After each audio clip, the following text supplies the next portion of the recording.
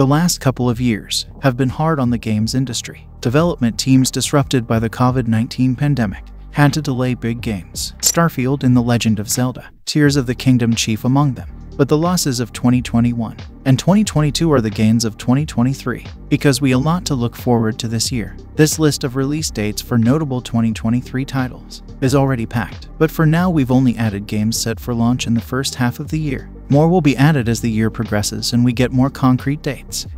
Here are all the big PlayStation, Xbox, and Nintendo Switch games to keep track of in 2023. Number 1. Fire Emblem Engage. Release date January 20. Number 2. Forspoken. Release date January 24. Number 3. Hogwarts Legacy. Release date February 10. Number 4. Horizon Call of the Mountain. Release date February 22.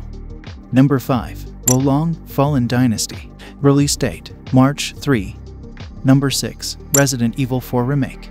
Release date March 24. Number 7. Crime Boss Rockay City.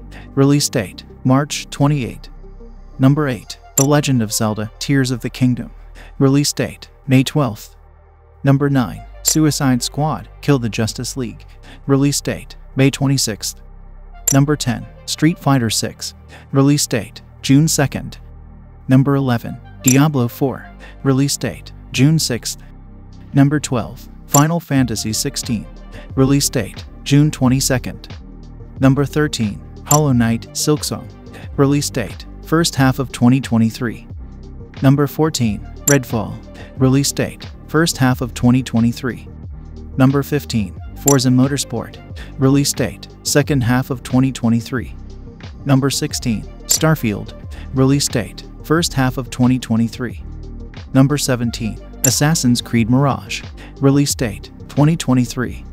Number 18. Lies of P. Release date 2023. Number 19. Spider Man 2. Release date Fall 2023. Thanks for watching.